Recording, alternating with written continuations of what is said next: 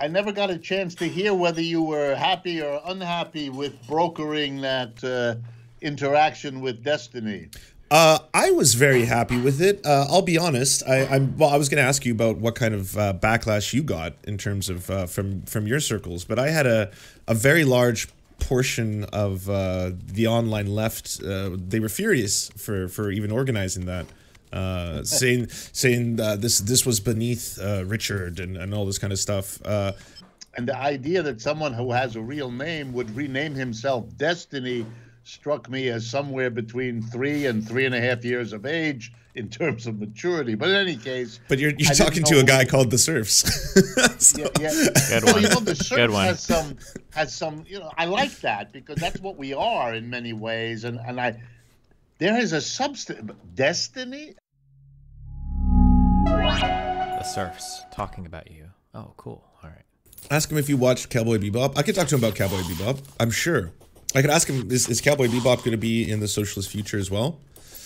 Uh, thoughts on the DGG long text memes? Well, I, I was you have to. Uh, you're gonna have to go talk to your workers' council and hope that they want to uh, make that anime for you. Man, this this start of the show is gonna get clipped and shipped.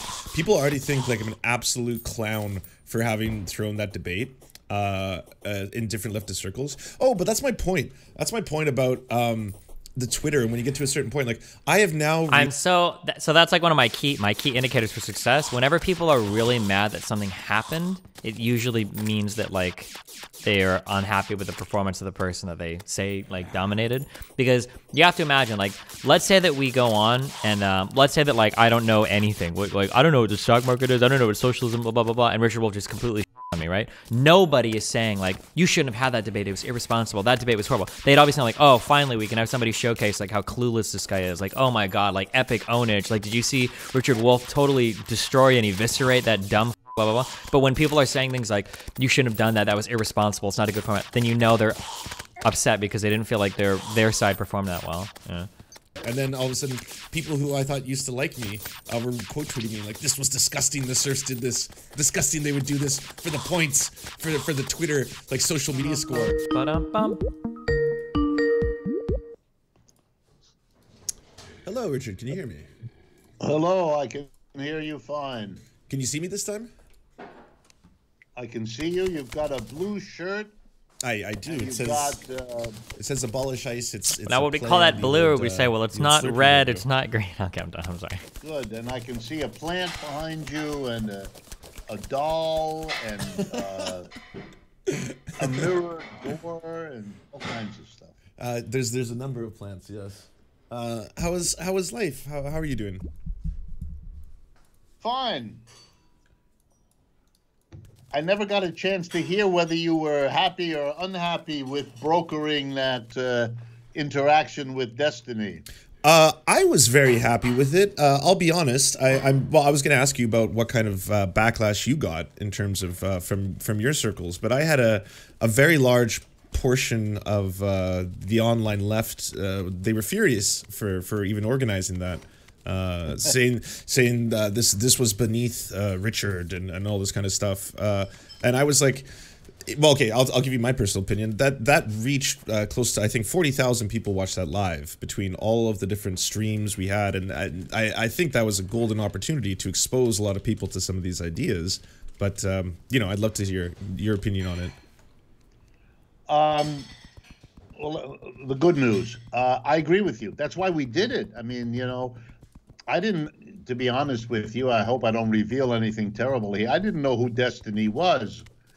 And the idea that someone who has a real name would rename himself Destiny struck me as somewhere between three and three and a half years of age in terms of maturity. But in any case, but you're, you're talking to a guy called the Serfs.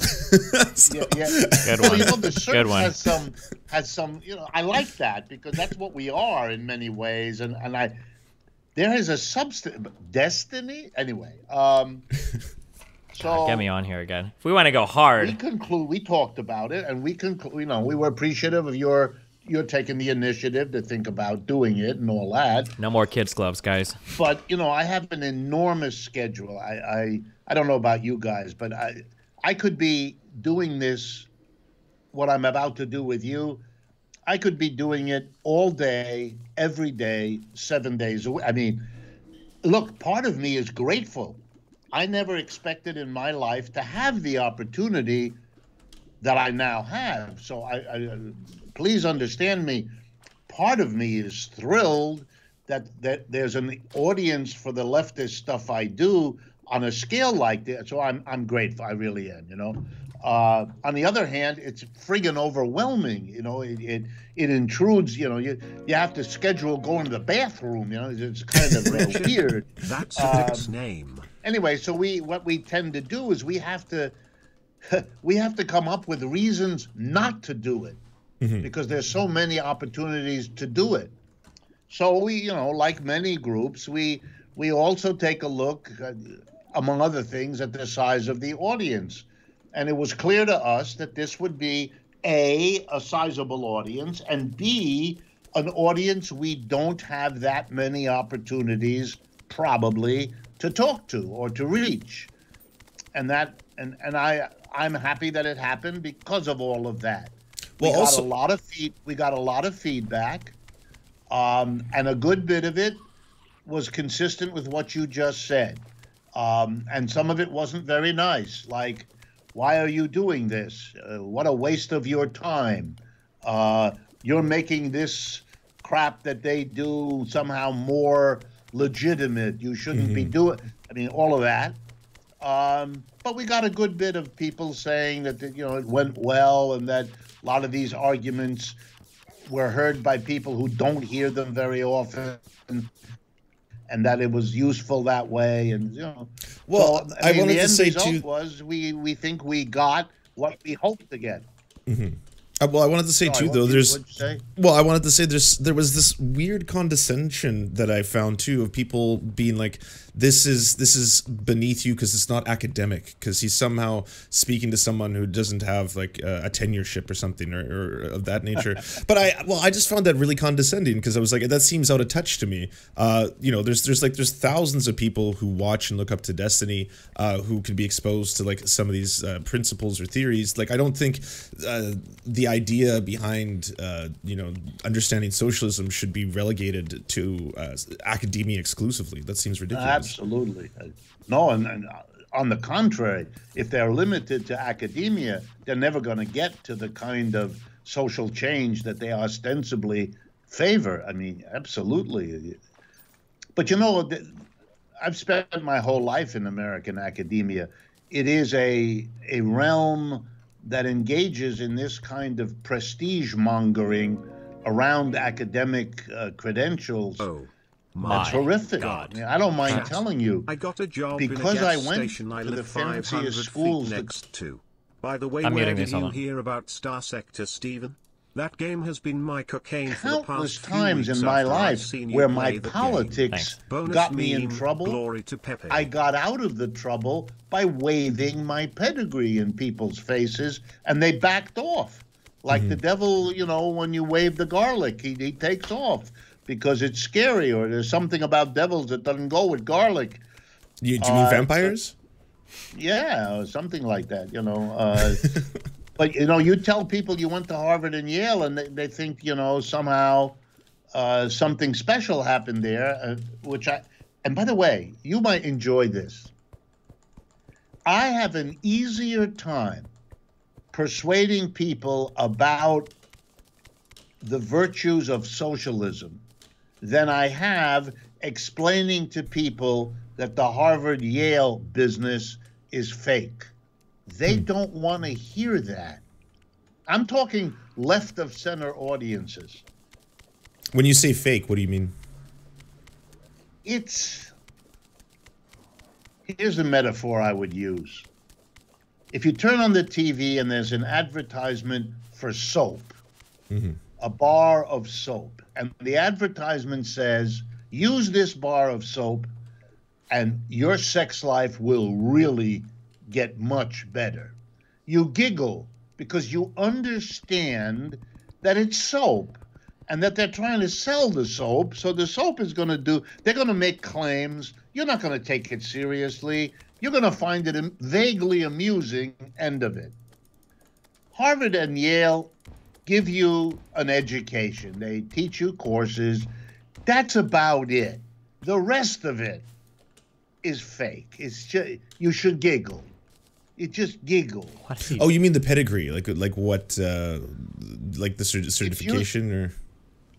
Yeah, it, it, the only thing, the quality of education is, and I mean this. So I'm, I'm not being playing with you. It's mediocre. It's not the worst, but it's not the best. Mm-hmm. You'd be if if what you want is a really good education in which people who've done a lot of thinking and reading and writing sit down with you and help you work through study then you're much better off to go to a small four year liberal arts college stuck away in the woods of Vermont or some other place where you can knuckle down and, and, and really do that and do it with a supportive group of people who give a crap about teaching. Mm-hmm. But if, if that's what you want, don't go to Harvard. And I had no idea what I was getting into. So it, for people like me, and I'm the norm, it probably didn't make all that much difference. We had no idea what we wanted. If you had asked me, what do you want out of college? I wouldn't have known what to say anyway. It was something I did because everybody like me did that. And my parents had been given the idea that's what their kids should do. So I did it. Uh, but here is the difference you meet the right people because they're working their ass off to get the, the, the rich, the well connected, the, the elites. They want their kids at Harvard and Yale, so they, they turn the world upside down to get that done. Mm-hmm. And so you're going to meet those people. If that's of interest to you, fine. If it isn't, nothing. And the, mm-hmm. the last thing you get is you get a pedigree over and over again. Look, let me be blunt. My guess is if I didn't go to those schools, As a European, I have no idea about this. Is Ivy League school overrated in terms of quality of education? Um, because depends my on what you're going for. trajectory would not have ended me up in this situation. Like if you're So, going you to know, law at- at school, it's incredibly junctures, important. People just think something like medical school, super maybe not as much. happens when you go to these places. It doesn't. Well, you could have ended up as a soap salesman. Yes, I could have. and by the way, in that university, Undergrads at Ivy Harvard Leagues, I don't know if that matters at all. For a great deal. But listen, in my PhD in my Yale class, my classmate was Janet Yellen, so I know Janet Yellen, and Janet Nel- Yellen knows me. That's But I mean, the connections get. and everything you get are also you always good, no matter get what you end up. Connections. you know, and that and that may mean nothing. On the other hand, if I pick up the phone and I call and I say who I am and I'd like to speak to Janet Yellen, she might actually pick up the phone, not because of who I am and what I'm saying, but because she has a memory, and you know she remember. Oh yeah, that guy, you know that kind that and, you know, and people make careers out of that crap. You know. Yeah. So- I wanted to ask you, um, would you be comfortable? Because I'm obviously not gonna uh, do like a drama stream or anything, but going through some of the arguments and some of the um, problems that both people on the left and the center and the right brought up from that debate, uh, for, for for clarification. yeah, if you if you think, I mean, this is your program and your audience. Uh, I'm at your disposal. If you think that would be of interest and engagement, absolutely. Well, I mean, reading Fine. from reading from the audience right now, they're they're mostly interested in soap and where they can find it. But I'm I'm Yes. gonna I'm gonna supersede them. All right. Uh, I'll I'll, I'll Right. just I'll ask about the debate. So one of um one of the questions that people on uh, the left were upset about is they said that Richard Wolff basically doesn't speak about abolishing markets. That his form which is probably defined more as market socialism than it is actual socialism, uh, is concerned obviously with worker ownership, co-ownership of, of the means of production. However, he doesn't go as far as say something that Marx would do in like uh, Grundrisse or in some of his other writing, where he specifically lays out that the commodity production also has to meet demand, right? And so in in your version, you've got uh, the market still existing and them still influencing people and, and to purchase ultimately. So what would you say to that? Uh, there's a number of ways of responding to that. I'm going to be a little blunt in order to get to kind of the meat of the issue. Oh boy. Uh, and so I'll overstate slightly, but it, it'll make the point. we don't need Marx for a critique of markets. The critique of markets is way older than Marx and lots of other people. Uh, uh, for me, for example, reading the fictional works of Balzac in French, you get a fantastic critique of markets. The whole transition from feudalism to capitalism, which was marked by the extent of the market into Oh, all man. aspects of our lives. It's like a greatest hits occasioned a vast outpouring of people horrified by this quid pro quo exchange, by this way of getting goods from the producer to the consumer by a, a, a bargaining in a market. I'll give you three of my oranges if you give me two of your shirts.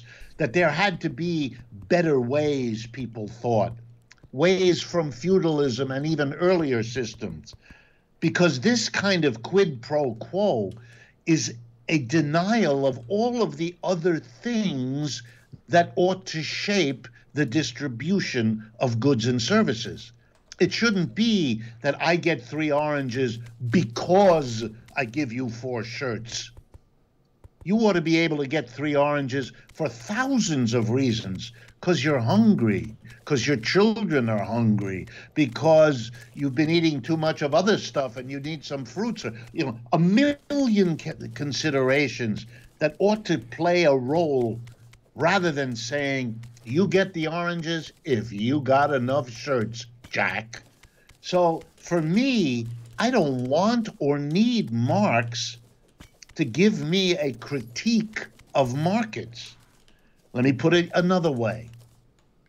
When I teach courses in the history of economic thought, I usually start with Plato and Aristotle. Why?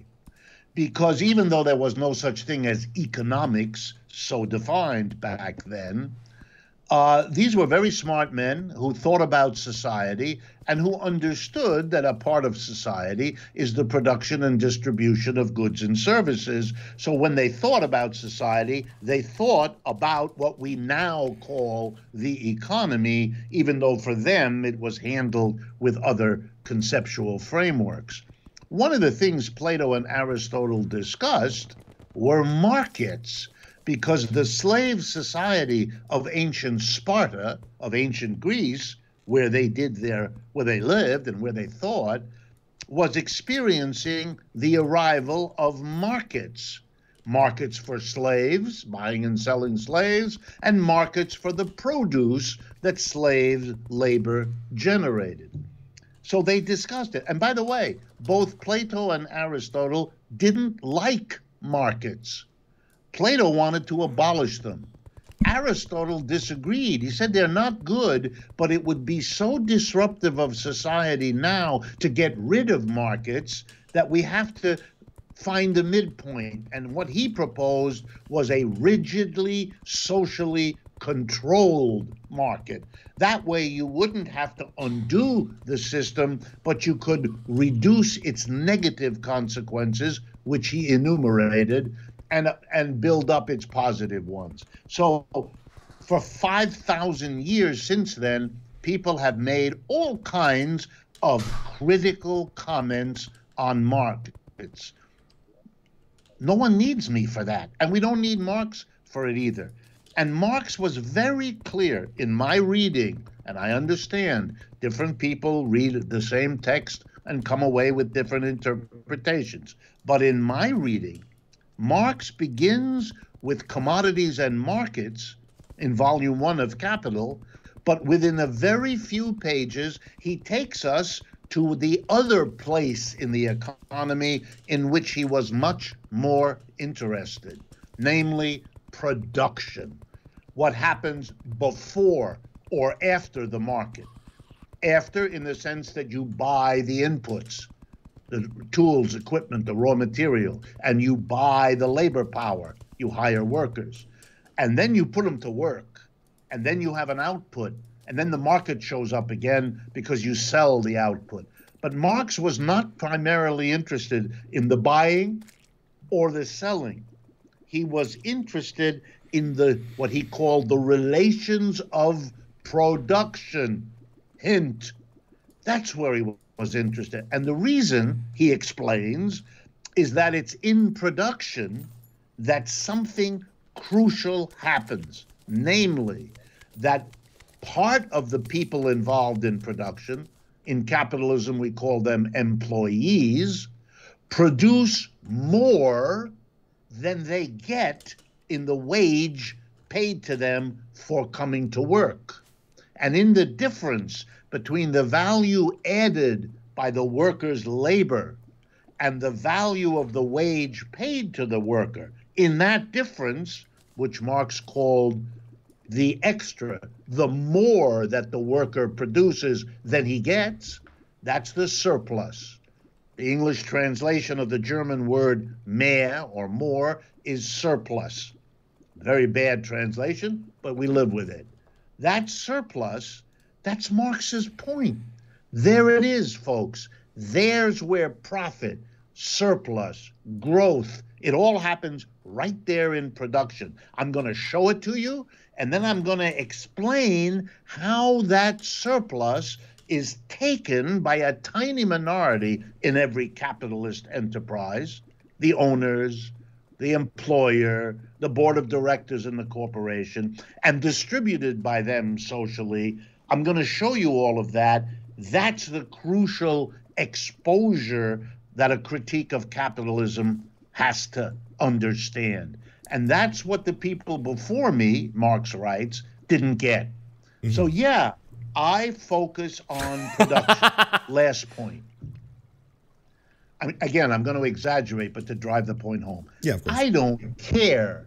I don't care whether the distribution of goods and services is handled by a market or by a planning apparatus. Yeah, welcome to liberalism then. Combination of them. That's a secondary concern. If you ask my personal opinion, I don't like markets. I was persuaded before I ever encountered Marx uh, that the market is a crude, ugly, and unfair way. And, and the argument is very simple. In a market, whenever something is scarce, that is, whenever the demand exceeds the supply, the price goes up. And that's a rationing system. It means that the scarcity is overcome because the rising price prices the people who don't have much money out. They can't offer to buy it anymore because they can't pay that price. Price is a rationing mechanism. And for me, the notion that something that is scarce is going to finally be allocated to those with the most money is morally and ethically unacceptable. Why? What about yachts? There are million yachts better reasons like for uh, distributing whatever is scarce Fuck, than the stupid... fact that the final recipient of a scarce good is the one with the most money in his or her pocket. I, I find that so obvious that it doesn't interest me very much. So I can live if we do some things with market exchange, I can live with it. If we do some things with planning, I'm happier than I am with markets. But for me, that's a much secondary question than the issue are we going to organize the production, that place where people go five days a week, nine to five, go to work in the factory, the office, the store? What are the human relationships in that situation? How do they organize the production, appropriation, and distribution of the surplus? That's what has to be changed fundamentally. Last point. We've had markets with slavery. We've had markets with feudalism. We've had markets with capitalism. It is definitional nonsense to refer to capitalism as a market system. The way, by the way, the New York Times does literally every day.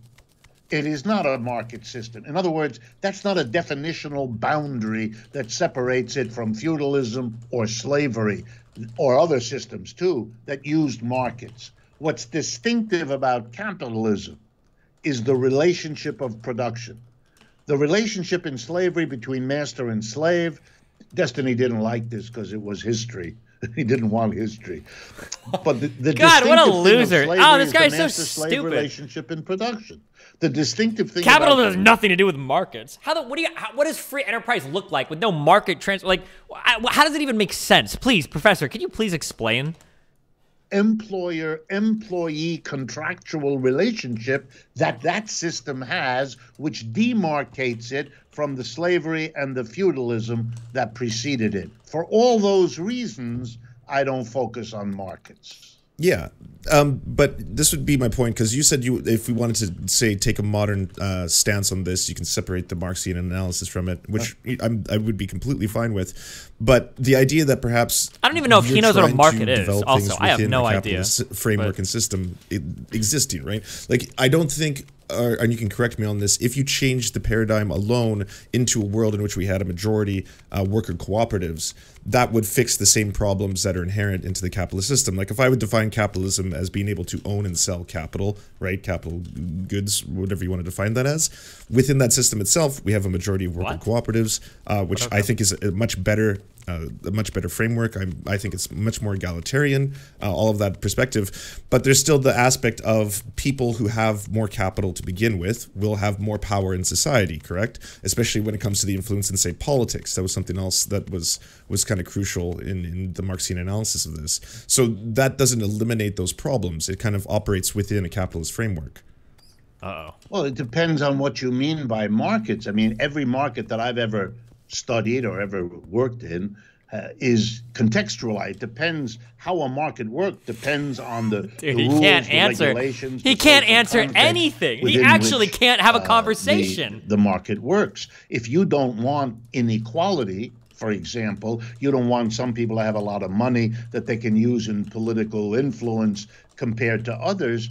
There's all kinds of ways you can constrict and constrain markets, which have been done historically precisely to prevent that sort of I thing just gotta get this chat uh, mobbing at me. from happening. I can't mean, resist. We don't allow the wage to be determined by the market in the United States. We have a law which says there's a minimum wage. That's If like that applies to like three percent of earners. The market does settle on most wages by to far. jail. Okay, we're not allowing the market to function. You are you're going to be taxed. We're taking money away from you. That's it. I don't know if he End of actually knows what markets are. You I don't legitimately don't know. Into jail you go. We are constraining what the market can do. If if you're concerned about inequality, if you're concerned about a whole host of social issues, then there are all these steps you can take. It's still a market system, but it's a market system that is not allowed to function in these ways and those ways. Then there are whole uh, distributions in a market economy, so called, that are not in the market. I mean, let me give you an example. Uh, when you go home to dinner tonight and you sit down with your with your friends or your your family, uh, there's a division of labor. Some of you cook the dinner. Some of you set the table. Some of you take out the garbage. Some of you vacuum the rug. Okay, how get how does that get worked out? Well, you could have a market system. You could get three drumsticks of a chicken for 27 square yards of carpet that you uh, vacuum. No, no, I'm serious. Yeah, you yeah, could yeah. arrange. You could arrange to distribute what each of you do to make the household livable. That would be a market. But I use it because everybody giggles when I say it. Why? Only because in our culture, we exclude that kind of arrangement. We arrange the distribution of tasks and the enjoyment of the fruit of those tasks non marketedly. We don't allow the market to function. If you took out the garbage, and when you were done, you came in from the outside because you had deposited the bags of garbage into the cans outside, and you turned to the rest of the people in the room and say, I'd like $2 from each of you because I just took out the garbage, people would either throw something at you or laugh at you because it's preposterous. But of course, it isn't. It's just that in our culture, the market is excluded from the inside of the house by the same people who celebrate it outside the house because they argue, you'll love this, outside the house, it's efficient, you see. Inside the house, it violates the norms of a loving relationship among members of a family. Your mother or father would scold you for demanding money to take out the garbage, and they would give you a lecture that says, Hey, this is a family. We take care of each other. We care about it. Of course, we like to do things for each other, and on that basis, we have a family. So Go figure, huh? You need a mark. You, so you're telling me that between you and three people in your house, you can figure out like what chores and everything to do, and you can't do that for the entire rest of the fucking world? Come on, dude. Come on. Do you really have to give your friend 27 drumsticks in order to convince him to take the trash out? Oh well, if you guys don't need a barter system inside your house between four people, then why would you need some sort of more complicated bougie market system to coordinate billions of transactions a day? Can't you all just come to the same types of agreements that your mom and dad do? Like. It's crazy that we use different things in different areas, huh? Weird, huh? Other crisis then, the the one being of the unjustified hierarchy that the markets will impose upon people. Because Well, I think you would you would have to look at every way that the market produces, let's say, uh, inequality of a certain sort. Uh, but I'll give you an example. The Mondragon Corporation in Spain has a law, a rule uh, that governs the 100,000 plus uh, people that are part of that corporation. Uh, and that is that the best paid person cannot get more than about eight or nine times what the lowest paid person gets. That's a rule. Don't have to do it, but that's a rule. So that every every payment of a wage, which is a market transaction, transaction, the the co-op as a whole buys the labor power of each of the members of that co-op. They have constricted that exchange so it cannot go outside of a certain range because in their view that renders an acceptable degree To be clear again, Mondragon is a confederation of co ops, and what he's talking about only applies within a particular co op. Within the whole of Mondragon, there are going to be people that out earn dramatically people at the top between people on the bottom. That ratio doesn't apply to the entire federation. get the benefit of markets, and there are some decentralized decision making and other things that are attractive. You can try to get those positives while constricting or re- removing the negatives, and and you manage your institution that way. Footnote: That's how all human institutions are are managed. There are pluses and minuses to having a government. There are pluses and minuses to having a marriage. There are pluses and minuses. You know, you pick your institution, and what society is is the attempt to get from these institutions what is deemed positive and to control or limit the institution around the things that are deemed negative. Yeah, of course. Uh, but I would then course. say, in your example of like the family, there is still Yeah. uh, some sure. un, like there's some justified hierarchies that we we would impose that I think are necessary, right? Like you, your kids will have to uh, be obedient to you in a certain respect. Um, uh, you know, with, within Wolff's a about to framework, lose it. and, He's and that upset. would be necessary to a healthy family dynamic. So, are, are you saying that you can extrapolate that, like that metaphor, further into society itself? Yes, because I would tell you right away, and you know this too, that the obedience of the child is immediately uh, matched up with constraints on the parents, lest they use the rule of obedient child to abuse the child. And then a whole set of rules and regulations have been struggled Wait, over where's the for angler, guys? eons to limit, to constrict, and to control. Can you beat your child? There are societies right now that forbid corporal punishment. A parent, Oh. yeah, you, you you get obedience, but you cannot strike the child. If you do, we will arrest you, and we will take that child away from you, et et cetera, et cetera, et cetera. So obedience has its limits. Obedience has to be offset by constrictions and controls. Uh, obedience has to run both ways. There have to be ways in which the children can make their needs known, to which their parents must be obedient, et cetera, et cetera. Can I catch So, fish yeah, I a, think there's a um, perfect parallel. The market is an institution What do like I need a bait for? And I find it strange uh, Oh fuck! to kind of buy in a wholesale way either embrace the institution as if it had no contradictions within it, or to dismiss an institution as if it had no. I mean, I am a student of Marx, and he was a student of Hegel. Everything has got its pluses and minuses. Everything has its strengths and weaknesses. And in a way, much of life is the endless negotiation of how to milk the institutions we invent as human beings to pull from them the positive and to extinguish or at least minimize the negative. And since institutions are always changing, this is an endless process. How does that system eliminate some of the bigger problems, say, like the military industrial complex, for example, something that is purely profit driven and that obviously has a lot of detrimental effects on society? Um, just the idea, I think, of having a, a multiple amount of worker cooperatives wouldn't address something like that or, or perhaps the the profit motive behind the pharmaceutical industry for example both in both cases um, how how does one uh, propose solutions to that Yeah, I think the, the, the issue here, if, if if I could go slightly afield, I think the issue here is expecting from the class transformational change more than it can deliver. Hmm.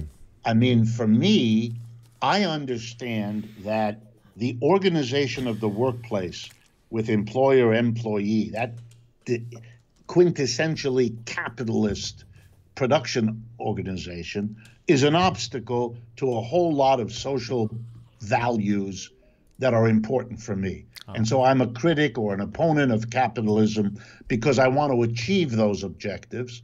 And capitalism, as an organization of production, stands in the way. But it has never occurred to me to think that by making the changes of the organization of production, all of the problems that I'm concerned about are going to be solved. I think that is an extremely dangerous expectation of any proposed change. You can't go from a specific objective you've worked out is an important thing to do and then say, well, but there'll be prob even if you do it, there'll be these problems that it it will not be solved by what you've just proposed. I agree. We're not going to solve all the problems that we have in a modern capitalist society by changing the organization of production. Mm-hmm. But it's a major step that I focus on mostly because other people haven't. Other, in other words, when I interrogate Marx and I ask myself a very basic, simple question why did Marx, in his mature work, focus so heavily on the relation between the employer and the employee in the in the in the workplace? I mean, why? I know he started somewhere else. He was he was a student of philosophy. He studied ancient Greek philosophers. He wrote his doctoral. What the hell happened to him? Why did he? For me, as a young kid trying to learn this stuff, I asked that question, and the answer I came up with you know, have a lifetime of reading and studying this stuff and teaching it, is that Marx focused on that not because it's any more important than anything else. He focused on it because other people who had tried to make society better, that he identified with those kinds of people, had missed this point, had not understood when they made all kinds of other changes that in order to get the results they were hoping for, you have to also change the organization of production. They hadn't understood that, they hadn't attended to it, and that was the contribution Marx felt he could make, not instead of what they had done. So, you know, when people before Marx said, let's get rid of kings, monarchy is a crappy way to organize political life. Marx is absolutely he cheers them on, right on. But when they tried to set up a democratic society as against monarchy, for example, they didn't succeed. They failed. And Marx asks himself, well, I love the objective, and I agree that the monarchy was standing in the way. What happened? Why didn't capitalism deliver on liberty, equality, fraternity, democracy, and all the other things they promised? And the answer is the organization of production was overlooked. And I'm going to analyze that and I'm going to show people how that operates as an obstacle. But there are a lot of problems Oh, that are no. still left in society that will have to be addressed. And I don't think it's fair, honestly, to say, gee, this change doesn't solve all the problem. You're right, it doesn't. But the expectation that it ever would is what's bizarre. It sounds like uh, you're in- intersectionalist then, that you want to apply like an intersectional analysis to it as well. Absolute, absolutely. I Base liberal take. Hello. Yes. We have had, and, and let me do it right now in case anyone's wondering where I'm coming from. Do we have a, a set of racial issues that are crucial in our society? You bet. Do we have a lot of gender issues? Uh, do we have a lot of sexual orientation? Yeah, absolutely. Absolutely. But I do notice with a certain sardonic cast Uh-oh. of mind They only that care about those these for can be discussed much more readily than the organization of production. True. That the minute you get to that, some sets of taboos come into play. And that should be understood because until recently, many comparable taboos applied to the discussion of gender or applied to the discussion of race. So those things turned out, and nor am I surprised, to be a little less taboo written ridden than this class issue. and that makes me even more confident that I'm touching a relevant nerve when a la Marx, we go in and say, wait a minute, that too has to be addressed. When you say that it's um, dangerous taboo. to try, The year is 2023. A black guy driving a nice red Ferrari tears off down the road. He's not speeding though. He sees sirens in his rearview mirror. He looks over to his white friend in the car and he goes, "Oh shit!" And they both realize they're fucked. He pulls the car over. Cop gets out of his car. He's already got his hand on his gun. Black guy puts his hands on the steering wheel and he tells his white friend, just don't say anything. I'll make sure we get out of this okay. Cop walks over, knocks a few times on the black guy's door. He's like, Can you roll your window down? The black guy's like, Listen, officer, I don't want any trouble. The officer looks at the black kid right in the eye and he says, Your white friend over there, is that a socialist? Oh, shit, and it's all over, boys. Another poor socialist lost to police violence, one of the most taboo subjects in America, being a so- one of the most dangerous, one of the most dangerous conditions to be afflicted with. It be through socialist labor unions or socialist political parties or socialist intellectuals or whatever. The Soviet Union, putting aside for a moment the Paris Commune, but the Soviet Union is the first, let's institute what it is we were trying to get at when we criticized capitalism. It takes socialism in a very new direction from being the sustained criticism of capitalism, which, after all, uh, that's what Marx was. He didn't write about socialism, he wrote about capitalism. He devoted himself to understanding capitalism. The goal was to get beyond it, but he never believed in writing about the future. He, he, he called those people utopian socialists, and he, he, that wasn't meant as a flattery either. So he is about capitalism. And for me, it's crystal clear in my head that everything changes when socialists take power. And the Soviet Union true. is the first Ask other big socialists. experiment on a national basis for what the hell socialists in power might mean. China is the second major experiment. Cuba, Vietnam, North Korea are little experiments. Uh, and as uh, here I'm a historian, as there were experiments emerging from feudalism, and I know this bothered Destiny too, the, the history, but what else have we got? There were many efforts to set up. This guy's like an oblivion NPC. Oh my God. Capitalisms in Italian cities, in in in the Low Countries, in, what we now call Belgium, Netherlands, and uh, Luxembourg. they failed. They, some of them lasted a few months, some of them lasted a few years. They were what we could call now experiments in capitalism. And what they taught people were things that worked pretty well that we want to keep, and things that went very badly wrong that we don't want to reproduce. And slowly over time, you kind of assembled enough of the conditions that you could have capitalism sustain. I think we're at the same position relative to socialism. There were things the Soviets figured out that we want to build on. And there were things the Soviets did, summarily called Stalinism, that we want to make sure to avoid. Ditto for the Chinese, ditto for the Cubans. And that's how the transitions go. And we shouldn't be all upset that the first tra- experiments, Russia, China, have things we don't want. That's what we should have expected, not that we should be shocked or upset by this. We should learned Marxists have to make criticism of things done in the name of Marxism. Otherwise, it's not a serious intellectual or, or revolutionary tradition.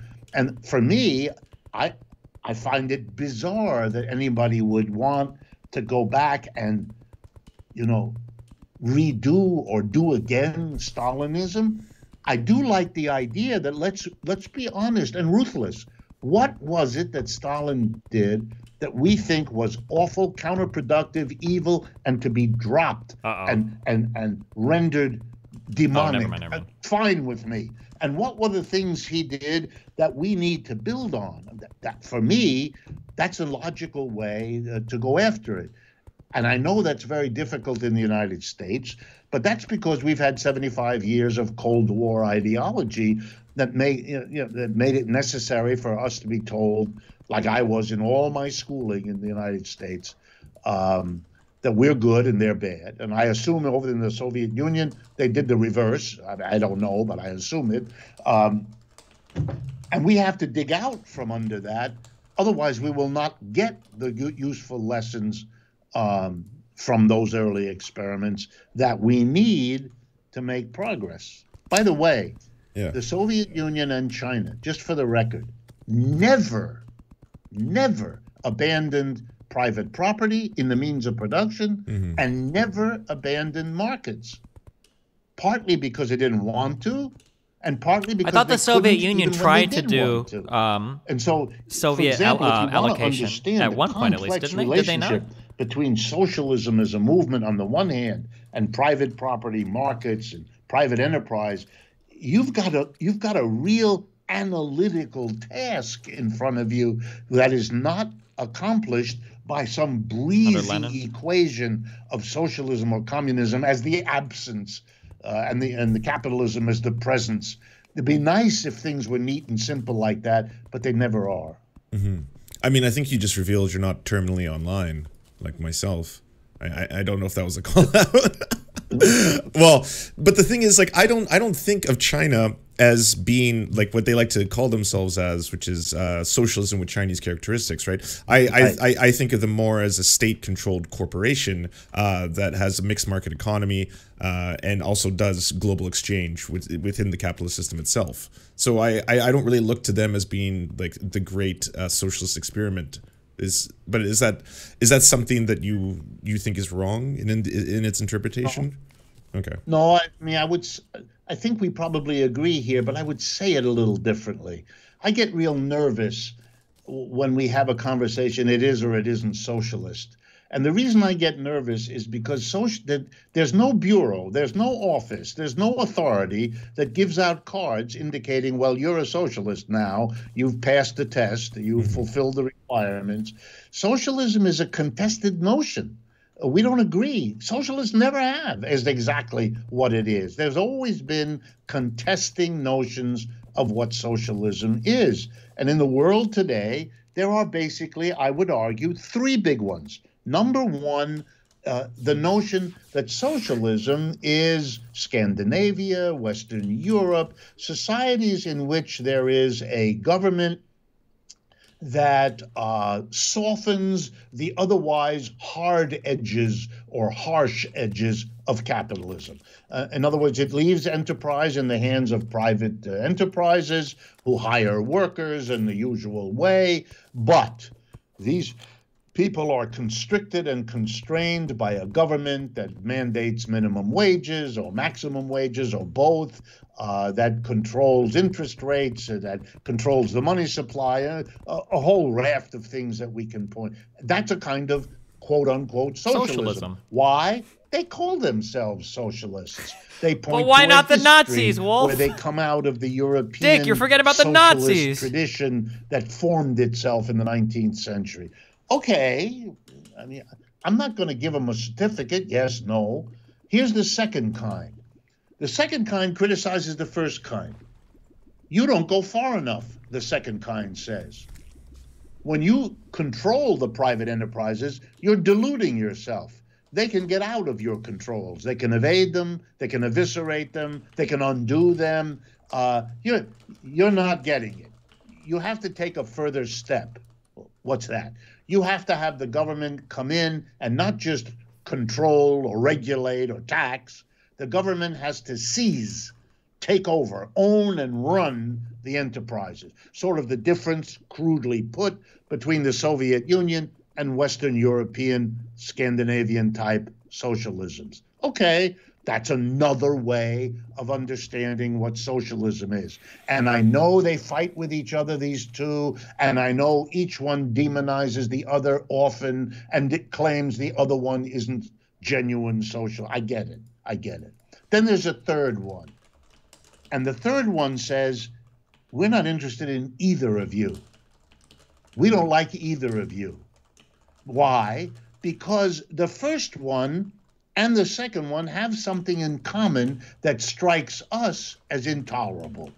You don't question either of the first two the employer employee relationship.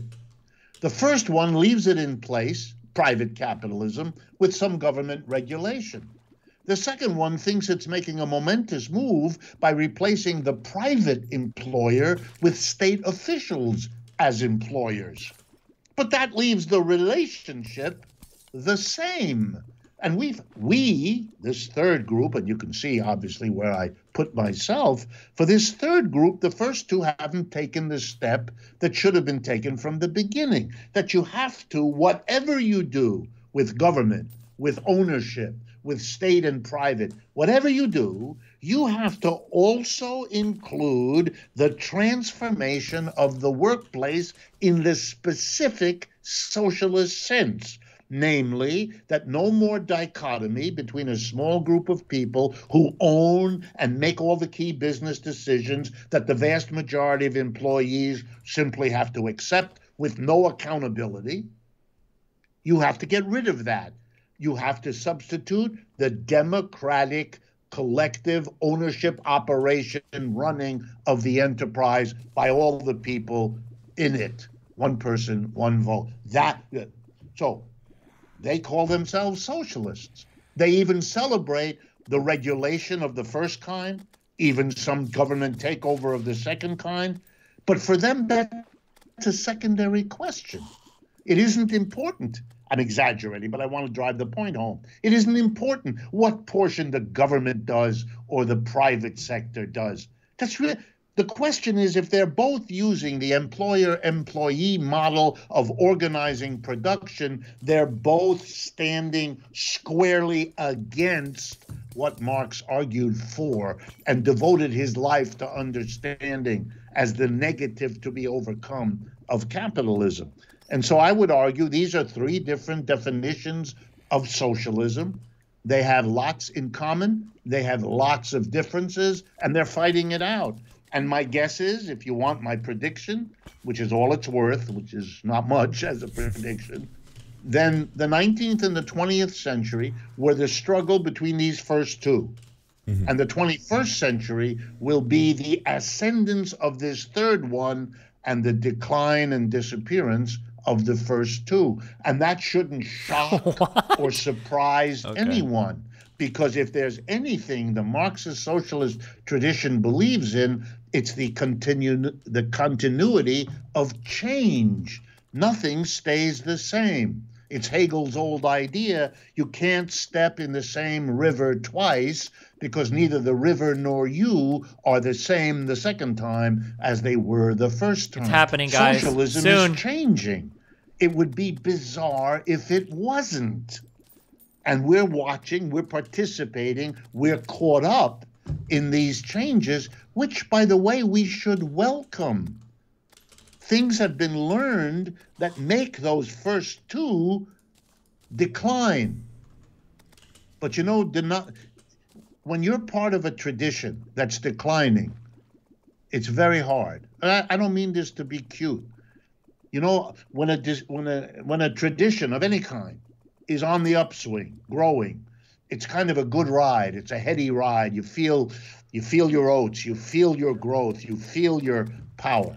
It's a very different experience when that particular tradition It's peaks guys. and it's it's peaked. going down. Capitalism is peaked. It's I leaving soon, guys. the audience of this conversation here in America should be acutely aware of what I'm saying because that's almost the case gone. of American capitalism. We had a fantastic ride from independence to around 1970. That's over and it ain't coming back.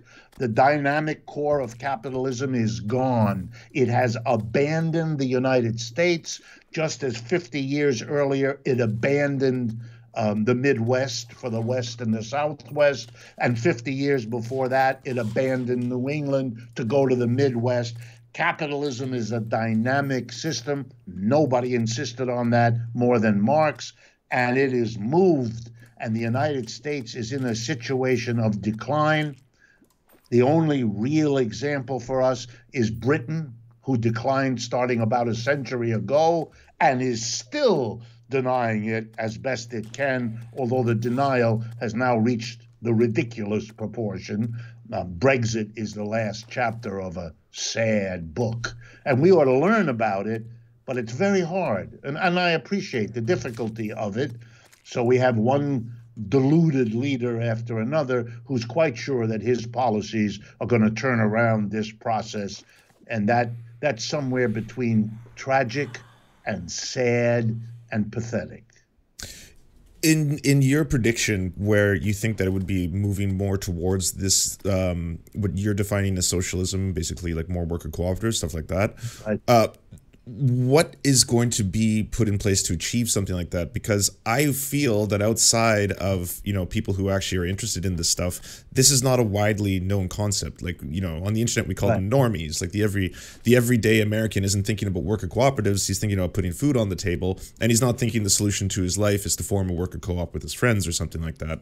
Um, and typically uh, what happens when there is mass alienation is it seems that people look to scapegoat. They look towards strong men who are going to tell them hey it's not it's not uh, a system itself oppressing you. It's uh, you know it's muslims or it's uh, immigrants or stuff like that. So so how do we not go down that trajectory and and go down this this one this path that you're saying would be uh, a way to ameliorate everyone's lives? I, the two parts to my answer to that it's a great question two parts of my one again the history because that's who i am and i, don't know any other way to, to reason this Make sure to remind Um, everyone that Destiny gets mad when you bring history up. in up. 1789 in, in Paris and the rest of France, there's a revolution going on. The mass of people are exactly as you just described Americans today. They want to know where's the bread going to be on the table? Uh, how am I going to feed my family? How am I going to keep a roof over my head? Uh, they could give a crap about feudalism versus capitalism. The, meat, the words had no meaning, the urgency was gone.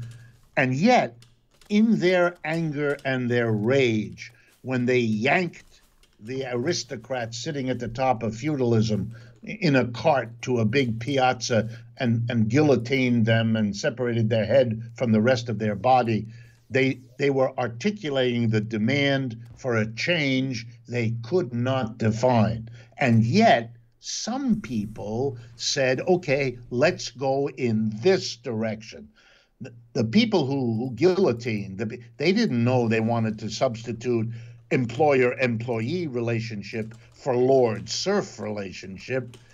That's a retrospective assessment of what came out of the chaos of that time. But let's be honest, there were those who understood this in the terms we now use, who gave some direction to the mobs, to the angry people, to the desperados, and all the rest that a revolution creates. And that's why we had the outcome of a transition to capitalism rather than, and by the way, there were scapegoat efforts of all kinds in the French Revolution that took the place, took other directions that people fought over.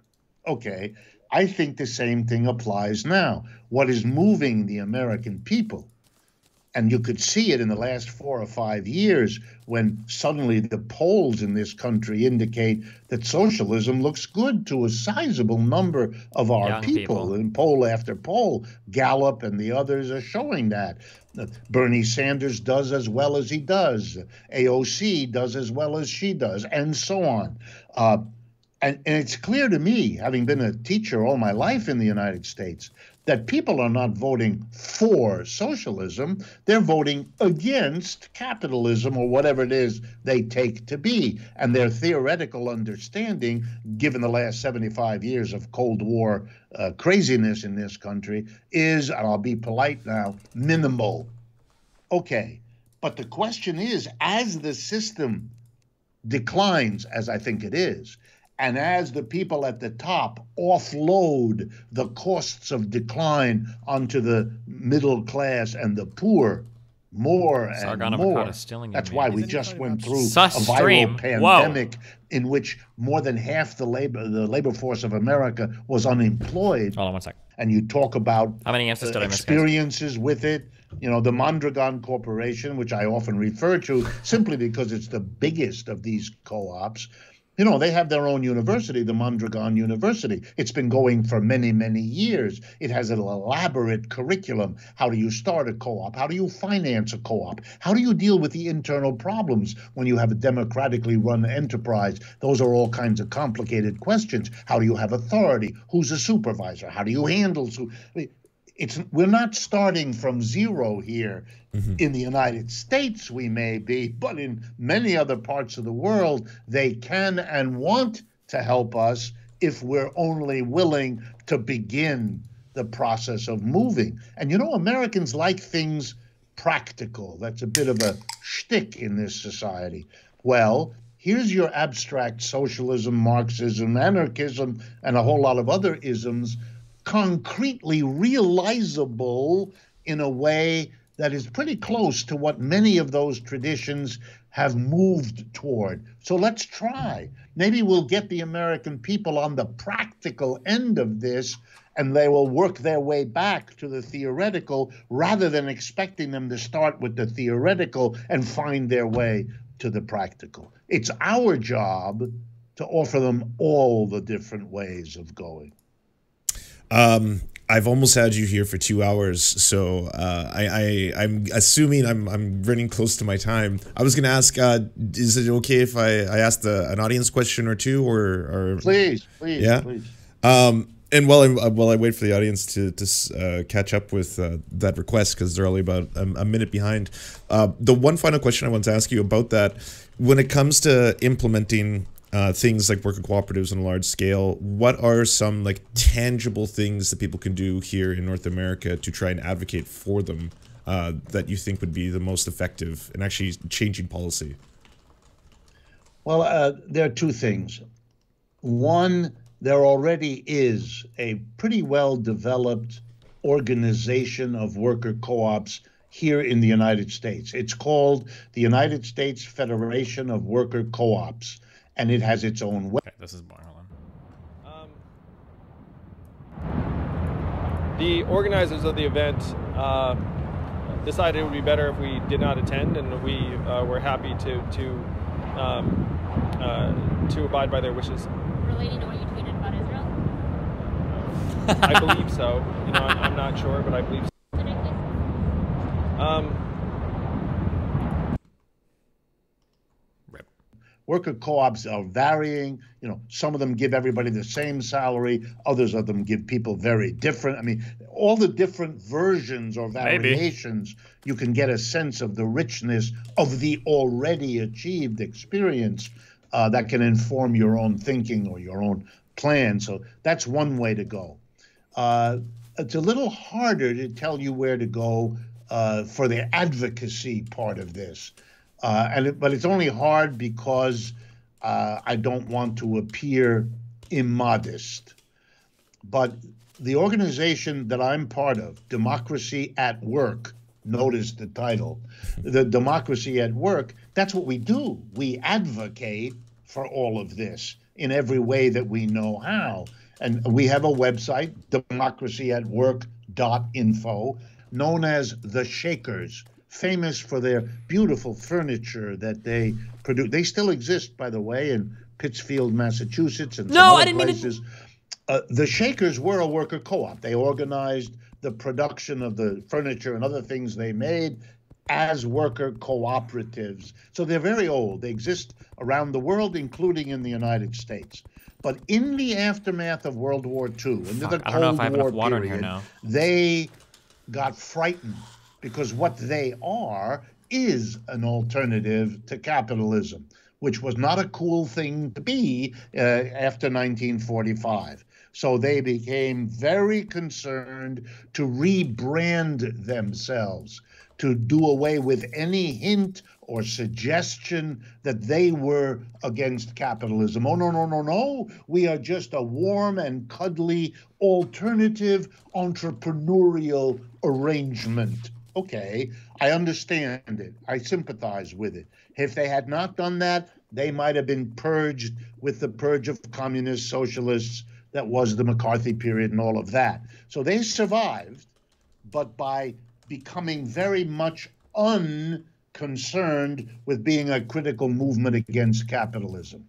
What democracy at work.info, what we do is reestablish that this is not just an interesting, unusual, warm and cuddly way of organizing a business.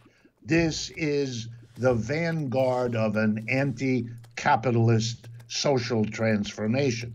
And I can tell you, because you'll enjoy it, when I give speeches to people who are in worker co ops, the first 20 minutes of my talk, they love it because what I'm doing is saying, hey, you're not just making an interesting business here. You are part of a social transformation. You're heroes and heroines. They love it. But in the second 20 minutes, it dawns on them that they're now going to be in danger of being viewed as an anti-capitalist and then the police or the, the FBI or somebody is going to get interested in What? them and they do not want Okay, because I'm genuinely ignorant. In the past like 30 years, what antagonism has existed between like the police and the FBI and social? Has this been like a? Th- did I miss this? Or like, is there like some? I know that like for certain black groups during the civil rights era, although I think personally it probably had less to do with them being socialist and more to do with them being black, um, and and, and oriented towards civil rights. Like, has this like? Oh fuck! I accidentally paused this. So the whole thing is fucked. One of, in my mind, one of the greatest Marxist theorists of the last century was the Italian Antonio Gramsci. And for those who are not familiar, he was the head of the Italian Communist Party. He built that party from a very small beginning in 1920 21 to the point where it was the most powerful communist party in all of Europe in terms of its membership and in terms of its social influence uh, on the Italian uh, on Italian history. He was arrested by Mussolini, put in jail, and effectively killed in jail. Uh, but while he was in jail, he started a program of reading and keeping notebooks about what he was reading. And those have been published in many languages, including English, as the prison notebooks uh, of Antonio Gramsci. But they are really brilliant pieces of analysis of, for example, the role of the family in Italian politics and history, the role of the Vatican, the role of regional differences, because you know the north of Italy relative to, the south have at least as many tensions as, say, the north and south of the United States. So, on a whole range of issues, this communist leader, Marxist thinker, had the enforced leisure of jail to read and to think and to share with the rest of us what he sense he was making Wait, as somebody who wanted to take Italy beyond capitalism. Uh, he died. uh, They let him out of jail the last month, but he basically died in Mussolini's um, jail. So the, it's a multiple volume work. Prison Notebooks, published by the Columbia University Press in New York, uh, a remarkable uh, compendium of really brilliant Marxist um, uh, analysis.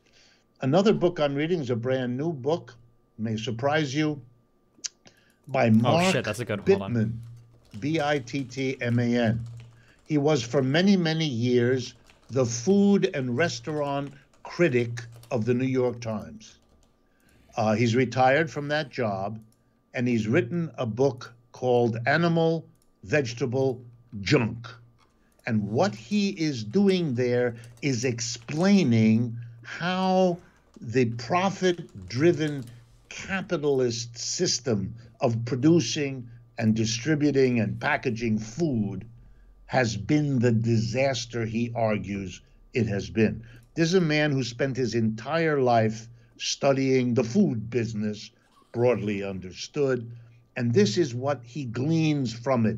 It is a powerful criticism of capitalism in general, capitalism in the United States, in the whole question of how it shapes food and thereby us, since we are all, whatever else we are, food eating animals. Um, Can I not catch that one- sky thing here? Well, it said two. surface. I find going back to philosophy a wonderful um, experience in rethinking things in a productive way. So I hope folks won't laugh, but there are two philosophers I've been reading, rereading recently. Don't say One Hegel. is uh, Marx's teacher Hegel God damn it. um, his his critique of logic is extraordinary piece of work about how we think about the world makes you much more conscious it's a little bit like going to therapy where you learn about your own psychological mechanisms uh, and, wonder why you hadn't learned it earlier and the other one Don't is a Kant. student of marx and hegel Oh, okay. uh, who I've returned to several times in my life, the uh, French philosopher Louis Althusser, uh, A L T H U S S E R. Um, because he was French, he could do something that no American philosophical professor could do. Uh, he was the leading philosopher in uh, France, a contemporary of Jean Paul Sartre. Uh, he was all of his adult life uh, a member of the French Communist Party, but also a professor uh, at the most prestigious university in France, something called the École Normale Supérieure in Paris, where he became the rector. The highest official of the uni. It's like the president of the university. Only in France and in other European countries could a member who was proudly and publicly uh, a Communist Party person also hold the most prestigious chair in philosophy that the country had. He wrote brilliantly about Marxism, brilliantly critical of the Soviet Union, philosophically as well as politically. Uh, a wonderful example of what creative Marxism could do uh, within the framework of the Communist Party, but at the same time, very critical, both of the French Communist Party and of the Soviet Union. And, and reading this kind of work by a professional philosopher, which he was all his life, um, I find these things to be very, very exciting for me. I uh, I won't lie. I have a lot of trouble reading Hegel. Like it's it's one of those things that people are always like you you have to do it to understand where Marx came from, but at the same time I'm always like, whoa, this is dry. This is old and dry. Well, you know, it's a little bit. It's a little. You're right. It is. It's a different idiom. You know, it's, it's, it's a different language and all the rest. But it, pay, it it repays the effort. You stay with it. Then after a while, you begin to get the kind of the the rhythm of it, and then you'll see it becomes Caught in the sunken Here- sea. Here's something for him there. If you go and get uh, the Phenomenology of Mind, one of his best known books, there's a preface or an introduction, an early part. And in that is a, an eight or nine page section called The Dialectic of the Master and the Slave.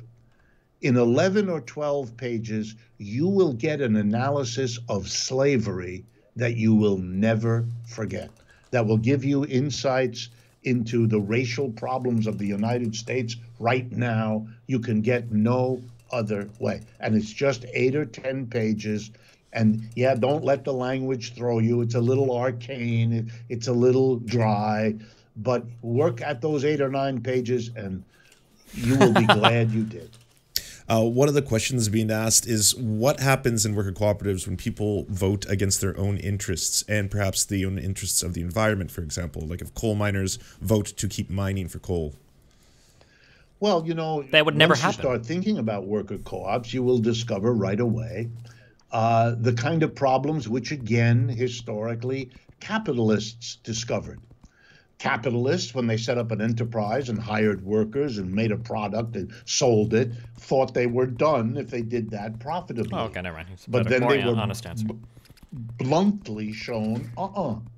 There's a community. You know, these workers you employ, they live over there in that village or in that town.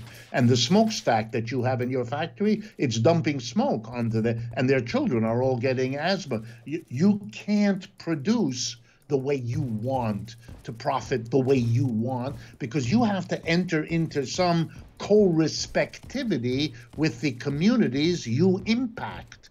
And so then laws got passed, and you had to get a license to have a smokestack. Why? Because of the, and you begin to have to develop institutions to take account of an irreducible fact that the community makes decisions that impact the business and vice versa. And since you impact each other, there has to be some negotiation for how this works. Otherwise, each of you will undo the life of the other. So, exactly the same has to happen with worker co ops. They have to understand that they're in a mutual, co respective relationship with communities of residential nature. In a sense, the workplace is a community at work, and the the home is a community residential or a community at play or a community at recreation or sleeping or whatever you do in your home. And there's going to have to be co-respectivity which means if you're a, a, a coal mining co-op what about the coal, the, the smoke, and the, the, the, the soot, and all the particle matter that you are dumping in this community? You have to, there has to be veto power. The community has to have power over the workplace, and vice versa. You have to work this out. And that's going to happen here. And ironically, the democracy in the wor- in the residential, where we at least have voting for whoever makes the rules as mayor or council person or or senator or president. None of that exists in the cap in a capitalist workplace. The workers don't vote for anybody. Uh, by democratizing the workplace, you reinforce the democracy of the residential place, and they now have to work out their relationship. And that relationship gives real power of each location onto the other. And by the way, we have examples of modern societies that tried to do that. In the aftermath of World War One, uh, Germany, the, the Constitution of Germany, written after World War One, and remember, before that, they had an empire. The leader of Germany before that was the Kaiser. That's the German equivalent of Czar or the German equivalent of emperor. They got rid of the empire, they got rid of the emperor, and they set up a parliamentary democracy. But you may be surprised, they set it up with two houses. Everybody got a vote as a citizen where you lived, and in a, and you elected people to a to a house of parliament. But you also set up this very interesting in the Weimar period because the Constitution was written in the German city of Weimar. The second house of parliament you elected from where you worked. It was a workers' elected body, and the two parties had to agree. Imagine if we had a Senate that was elected according to where we live, but a House of Representatives that was elected according to where we work. And we each had two votes one for where we live and one for where we work. And all laws had to be acceptable to us as workers and to us as residents. A wholly different history would emerge from a society that did that. That's what worker co-ops would do, but they would learn. That feel when people in New Jersey and shit start dictating New York laws. Interesting. um, I guess one of the last I don't know what like questions, uh, what that has popped up a couple What is the most common now. exurb or whatever where If, you'd live in and um, work in for there New York? There would be mass scale worker cooperatives in People in Virginia start writing North laws for DC. A, do you have any idea on what you would ever predict as a timeline for that? And then B, what would be the transformation necessary on say? I'm making fun of him, but uh, technically, it's it's actually kind of an interesting assertion, right? Like, if you have some like area that you work in constantly, like, should you have a say in terms of like how that area is ran? You spend a lot of your life there, a lot of your life working there. It's not actually the worst idea in the world. I just hate this guy. people that make the make the community and the workplace co-respective, sharers in decision making, veto power on one another, etc., etc. But I do think this is scalable. I think the Mondragon Corporation Mondragon. is a demonstration of God, the we love them. scalability. The you know, capitalist enterprises, here comes the history again, had to learn how to go from the small enterprise with an owner who starts the business and a dozen workers or something like that to the modern mega corporation which has hundreds of thousands. There was a whole long, difficult translation uh, transition uh, where you had to learn what a stock market was, how you could issue shares, how you could come become bigger than one family could ever manage, et cetera, et cetera, et cetera. I expect the same with worker co-ops. They will have difficulties scaling. And we can see some of that already with the Mondragon Corporation. It started in 1956 with a, a Catholic priest and six workers. It is now the seventh largest corporation in Spain and has over 100,000 workers. It's a study in spectacular growth over a period of 70 years. But during that time, it's had all kinds of problems it had to solve in in going from a very small business to a very, very large business. And I would expect the lessons of that, of those difficulties, would be applied, learned, and, and struggled with uh, here as well. I think the role of the government is a very, very important. Oh, this is it, right? and, and, and it would be a good way for me to end this conversation because it points in a direction. What we have is two political parties, Republican and Democrat, who both agree that capitalism is wonderful. They both endorse it, they support it, they are enthusiastic celebrants.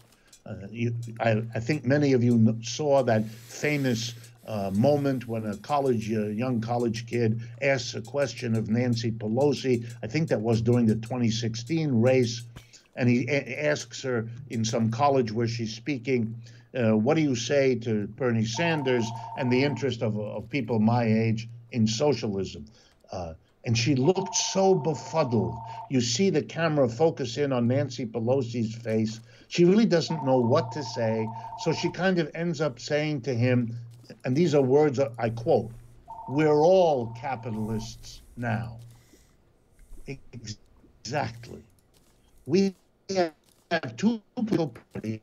Fuck, it's the FBI, the CIA. By American capitalists He was right. for help, lower taxes, subsidies, roads built so they can get goods in and goods out quickly, subsidies for every conceivable need they have, harbors, rivers, educating their workers at public expense.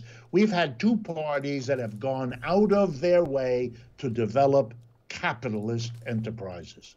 What we need And what between you and me and the lamppost, what I think is coming is a political party with a different agenda. Surf clam. That was the its fish, right? goal That I needed. will be to get a government that will give comparable subsidies, tax breaks, and supports to cooperative business to level Oh, the playing field so that government no longer thinks of itself as having the one objective of supporting one kind of corporate production structure and let there then be a synergy between a political party that's the advocate for worker co-ops and the worker co-ops that become the political base, the voter base, and the funding base okay, for such a political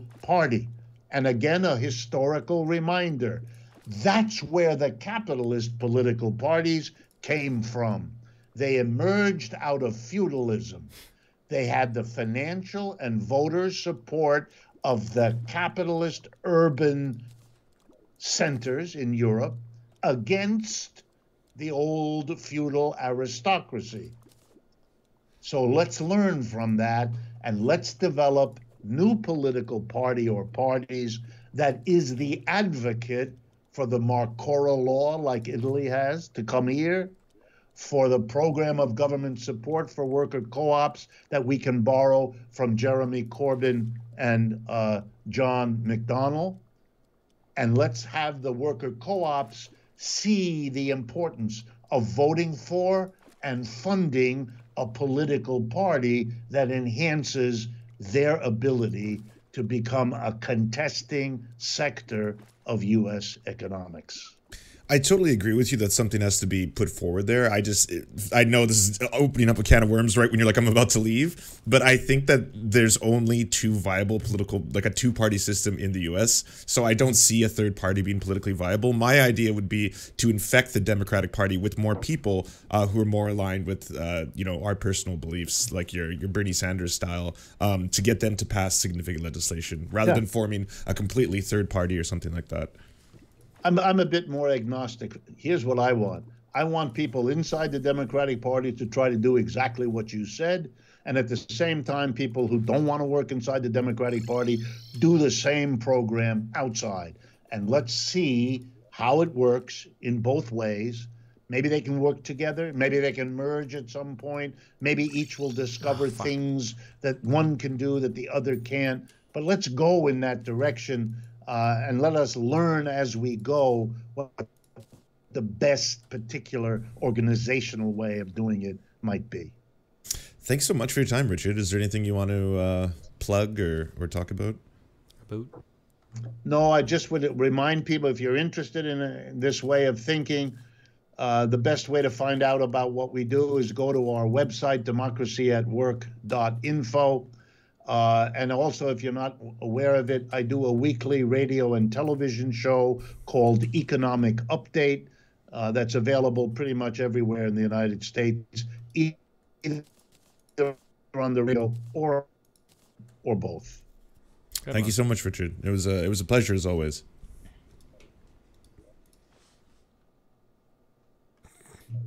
Okay, thank you very much. And uh, Okay. believe it or not, I'm off to another interview. Have fun. All right, Len. Remember to hit that like and subscribe, and don't forget the notification bell so that my videos show up right in your feed. I was joking around in the comments. Some people were were mixing it up. I said something like, uh, "Would someone be able to give us a list of ten to twelve examples of things that are not feudalist, just to like really set the context?"